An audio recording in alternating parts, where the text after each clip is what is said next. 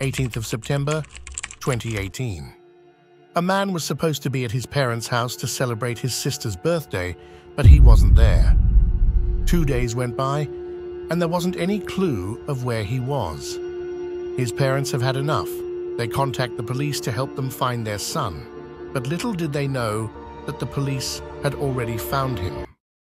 On the morning of the 19th of September, the police found a dead body in the middle of nowhere. The guy was later identified as James Paulson, a computer scientist. But the question was, how did James end up here? The police got to the bottom of this, and I will tell you the exact story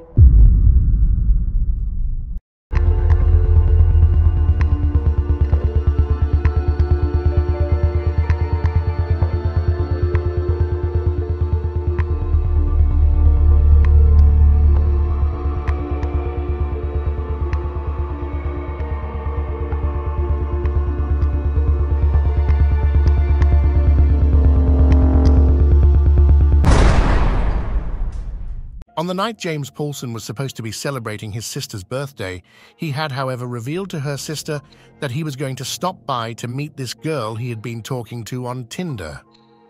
He had told her that her name was Julie and she was very beautiful, and he might even be late for the birthday celebrations.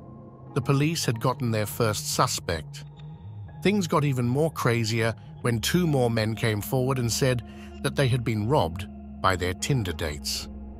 The first guy, whose name is Daniel, said that his Tinder date, Bella, robbed him. When asked exactly what happened, Daniel started to explain the whole incident. He said that he had been texting this girl on Tinder and they decided to meet. She was standing near an old grey Mercedes car. She got inside my car and she seemed very kind. She said that before we went to the restaurant I had a reservation for, she needed to get her jacket from her grandmother's house. I agreed with her and told her we would do exactly that. She started to show me the way to her grandmother's house. The road was very bumpy and there was hardly any light visible there. We finally got to the house, and by the way it looked, I thought the house was abandoned. She insisted that I come with her inside this house, and I was dumb enough to do so. Just when I got in, I realized that no grandmother was living there. The house was dark. When the light was on, Suddenly, two men came from behind and started to attack me. They threw me to the ground and beat me with a baseball bat. They then tied bridles around my wrists and feet and gagged me with duct tape. A man started electrocuting me with an electric gun, pilled his knife to my neck, shouted at me, and said, You know what will happen to you if you don't cooperate? I was scared to my core, and I thought that I was going to die. I quickly gave them my card and my pin. They left me tied up in a cane field. I managed to somehow escape and seek help by knocking on a nearby farmhouse door where I was attended by a mother and son who helped me with everything. After hearing his story, the police called in the other guy who also claimed that he had been robbed. The guy was named Ted, he was 59 years old and recently divorced, so that made him a perfect victim. Ted started to tell his story. I was recently divorced, so to get over that, I turned to Tinder. I matched with this girl called Rachel. We started texting, and she said that she liked mature men and was very keen on meeting. She told me how short her dress was going to be the day we met. I got very excited and was ready to meet her. She sent me her location, and I went there by train since I didn't know how to drive. When I got off the train, I saw her on the other side of the rails. She was flashing her mobile phone at me so that I could locate her. When I approached her, she started kissing my neck, hugging me, and warning me about the great time that I was going to have that weekend.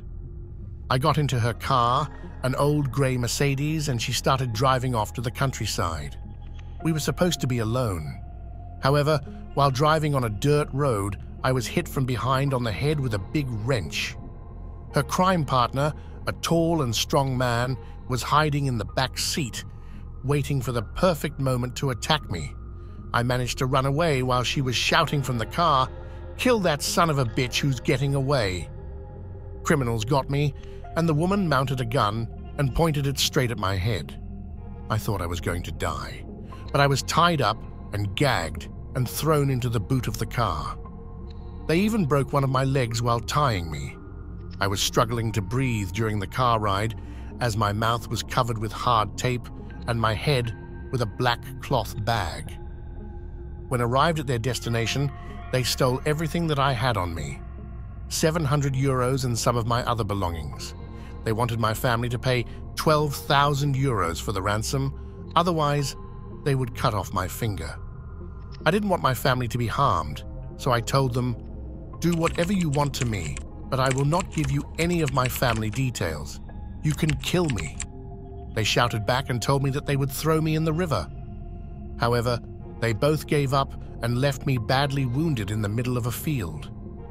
I managed to escape with a broken leg and started crawling on the ground until I saw the road. A tractor passed and the driver stopped to ask me if I was okay.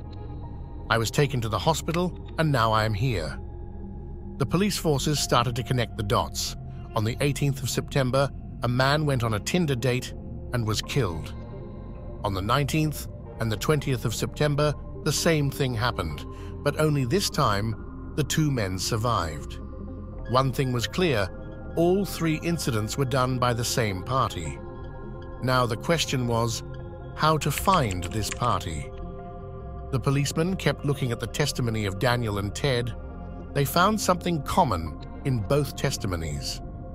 Yes, the old grey Mercedes. The policeman shouted, No way they already owned that car. This car must have been bought recently, said the policeman. Now they started looking all over for the old grey Mercedes that had been bought in recent days. They found several and then requested Daniel and Ted to come in again and identify the car. They both indicated towards the same car. The police started looking into it, and the car was bought on an online website. The police traced the seller of the car, and he started telling them about a man who had bought it from him. He paid 11,000 euros for the car and promised that the remaining payment would be done in the next few days. When the police told him about the incident, the seller told him that he knew of no such thing, but the buyer of the car left the identity card there for the seller to assure him that he would return to make the rest of the payment. The name of the man was Akhraf Ali. The police started investigating this man. During the investigation, a sergeant came forward claiming that he recognized him. It's Akhraf Ali, he said.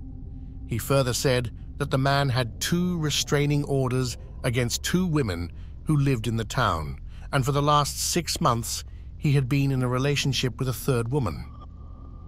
The sergeant also revealed the location of the suspect to his colleagues. On the 2nd of October, Akraf Ali, Jose Delgado, and Arietta were arrested on several charges, including the death of James Paulson. In the searches, the agents found evidence of the three savage attacks. Moreover, the woman Arietta was also identified by Daniel and Ted. She was neither Julie, Bella, nor Rachel, but Arietta, a woman who pretended to be someone she was not to rob and kill people.